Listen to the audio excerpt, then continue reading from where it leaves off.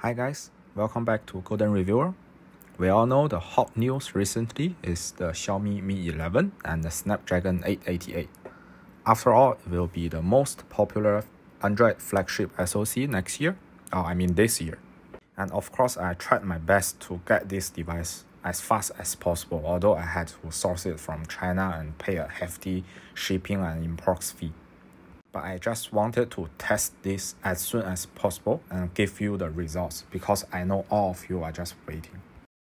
So if you have seen my unboxing video and some previous testing videos, you've known this is the Xiaomi Mi 11 with Snapdragon 888. And of course, I have the Xiaomi Mi 10T Pro with Snapdragon 865 here. And also the Huawei Mate 40 Pro with the newest Kirin 9000. But from my testing, I was actually very disappointed with how the Snapdragon 888 performs. Why am I disappointed? Why is Snapdragon 888 a bad SoC or a failed SoC? Why would I say that Qualcomm never delivered what they promised? I think it's quite hard to answer all these questions from my normal gaming FPS test because I think we need a more rigorous, more scientific, and more systematic test to show you what I mean. So this test will not be about FPS, about uh, uh, battery life, how many hours of battery life, whether the game is smooth or not. Uh, can you run PUBG at HDR settings? Uh, does it run Genshin Impact smoothly? No, that are just hand waving. And people will question, they'll say, oh, uh, it's about the display resolution. Uh, oh, it's about optimization. So I want to isolate all this and let the numbers talk. You might be confused about what I mean, but never mind. Let me show you. So without further ado, let's start our test. So the first test we are going to run is Geekbench 5. And no, it's not like your uh, Geekbench 5 benchmarks you see all day. This time, we are also going to record the power consumption of the device while running Geekbench 5. Furthermore, I want to make the results more accurate and representative of the SoC itself instead of the device.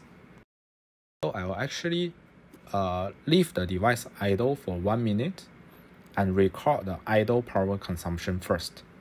Then when we run the benchmark and record the active power consumption, we can actually subtract the idle power consumption to know roughly what is the real power consumption of the SoC itself. And as we talk, we can see that this Xiaomi Mi 11 has been idle for about 1 minute, and we know that the idle power is around 1.3 watt. Now let's start to run the benchmark.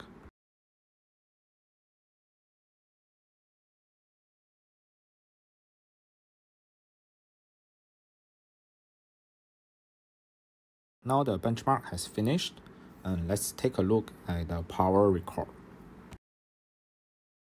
We can see that there are about two parts to this power record. The first half has a bit lower power consumption and the second half has a bit higher power consumption. This makes sense is because Geekbench 5 actually run the single core benchmark first and then multi-core benchmark later. Now let's look at the data from the single core benchmark and multi-core benchmark separately. So let's look at the single core part first. We see that the average power is around 3.1 watt and subtract the idle power we just got. We know that the average single core power consumption is about 1.8 watt. Uh, but I need to give a disclaimer here because this number is not 100% accurate. That's because Geekbench 5 actually performs the test uh, at intervals, so the core is not working 100% of the time. Nevertheless, I think the average power consumption is still uh, meaningful when we compare it across different SoCs. From here, we also see that the single core power consumption at its peak is about 5.9 watts. So subtract the idle, we get about 4.6 watts. Next, we look at the multi-core part in the same way we see that the average power consumption is about 6.4 watts. Subtract idle, we got about 5.1 watt. And then similarly, the peak is around uh, 8.6 watt. Okay, that's it for the Geekbench 5 for Snapdragon 888 and you should have already understand how I'm going to do all these tests. Next, I'll follow the same way to test out the Snapdragon 865 and the Kirin 9000. And I won't explain these uh, methods all over again. Uh, instead, I'll just show the footage and show the numbers on the screen, right? But of course, you don't have to worry about remembering all these numbers. At the end, I'll actually uh, consolidate all the data into an Excel form and uh, make some uh, in-depth analysis with you, right?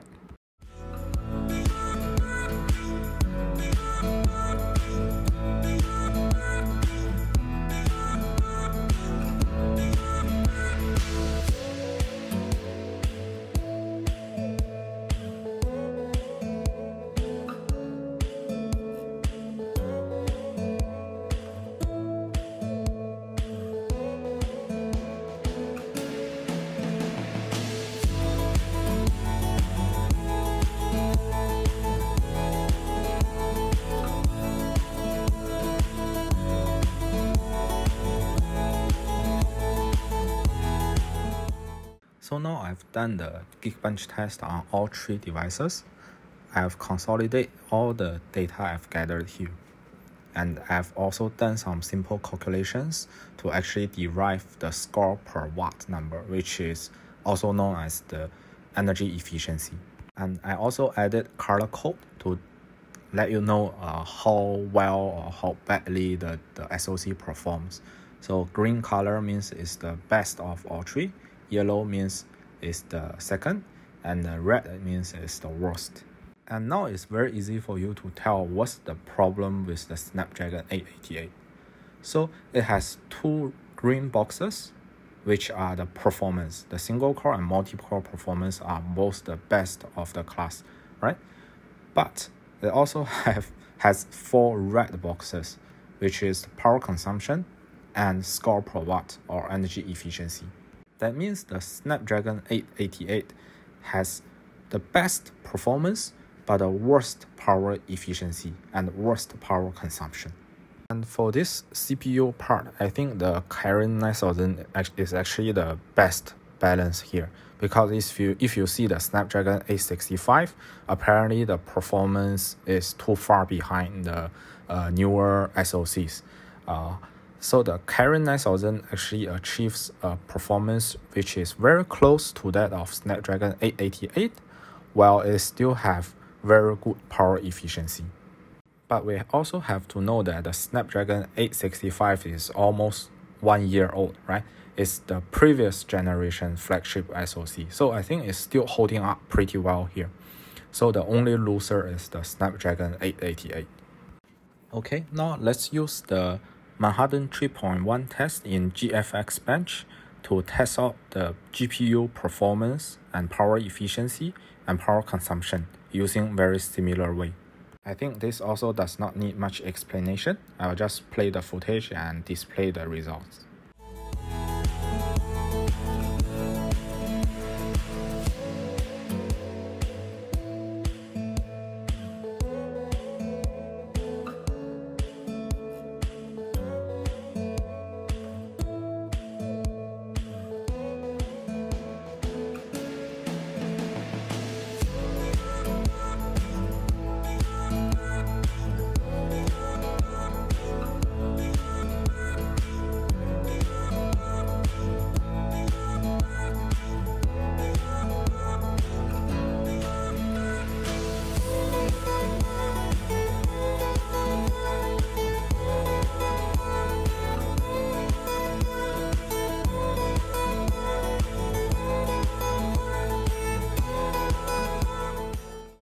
Okay, now we finish the test and we add the data to our Excel form. We have three more rows. Now if you look at the pure performance, the Snapdragon 888 and Kirin 9000 are both very good. Uh, apparently they beat the Snapdragon 865 by a large margin. However, did you notice that the Snapdragon 865 is so so power efficient? It uses only half the power of the Kirin 9000 and even less than half of the power of the Snapdragon 888. So its power efficiency is much much better than that of the Snapdragon 888 and Kirin 9000. So I want you to think about this. Is it really that meaningful to have this uh, high performance while your power figures shoot through the roof? Okay, now let me show you more other tests. Let's do Antutu first. I think we are all quite familiar with Antutu. So this benchmark actually covers CPU, GPU, RAM, and disk, almost everything in your a smartphone. Now they have done the Antutu benchmark, and let's just take a look at the result. I think the score uh, we are all familiar with. We see the leaks, we see all the reviews. So that's not interesting to us. What is interesting to us is the battery and temperature figures. So do you notice that the temperature rise for the Snapdragon 888 is actually 12 degrees, which is much higher than the other two. All three devices start with a battery temperature of around 31 or 32 degrees, and the Snapdragon 88 actually reaches 44 by the end of the test. Also notice that the Snapdragon 888 use 5% of battery, while the other two use less than it. So you see this corresponds to our previous test. The Snapdragon 88, although has the highest performance, is not power efficient at all. So the devices will consume more power and be hotter. Okay, next up is 3DMark stress test. This is uh, more of a GPU focused test rather than a comprehensive one like Antutu. So if you play a lot of GPU hungry games, this will be more interesting to you. What? You kidding me? The Mi 11 is actually uh, giving me a warning saying that your device has overheat and uh, I don't know, it just kicked me out, out of the benchmark. Okay, okay, so the Mi 11 with Snapdragon 888 couldn't even finish the 3DMark stress test uh, after around 18 runs out of 20, it overheated and kicked me out of the benchmark. Notice the battery temperature is 52 degrees. This is crazy. Uh, I'm really shocked by this because I've never seen anything like this before. Uh, okay, anyway, uh, let's just uh, let the other two devices finish the test and uh, I'll get another test for the Xiaomi device to uh, compare the results. Uh, okay, let's take a look at the scores first. So um, if you look at the best loop score, apparently the Kirin and the 888 will be better than the 865. But both of them will throttle, especially for the Kirin 9000. You see it reduced to only 60% of its peak performance. And after throttle, the performance is actually more or less the same as the Snapdragon 865. The Snapdragon 888 does not throttle as much, it's only uh, 88%, uh, but uh, that's at the expense of extremely high temperatures, which I'm not, I'm really unsure about. But if you look at the Snapdragon 865, it does not throttle at all, right? From the beginning until the end, the performance is 100% the same. And if we look at the more interesting temperature and power data, we see that the Snapdragon 865 actually consumes only 7% of battery, and it has a temperature rise of 12 degrees. While for the Snapdragon 888, it uses 15% of battery. That's more than double that of the Snapdragon 865. Alright, alright, I know, I know, the battery capacities are different. Alright, I'll do a calculation later and put the exact energy numbers in milliampere hours here so that you can compare them, okay? And the temperature rise for Snapdragon 888 is also a bit ridiculous. It's 19 degrees, right? If you see, just now the test ended when the temperature reaches 52 degrees. So for this another test, the temperature reached 51 degrees is about only 1 degree to the threshold where the OS will actually kicks me out of the benchmark. So maybe for this particular time, I was lucky I never hit 52. And then if we look at the Kirin 9000, it's somewhere in between. uh, it's not as hot or power hungry as the Snapdragon 888, but it's still not not as efficient as the, as the 865. Now we've finished all the tests I want to do, and we have all the data we need, and we can complete our table. And I think most of you can already see exactly what the issue is with Snapdragon 888. The performance is not the issue. You see the four green boxes are all for performance.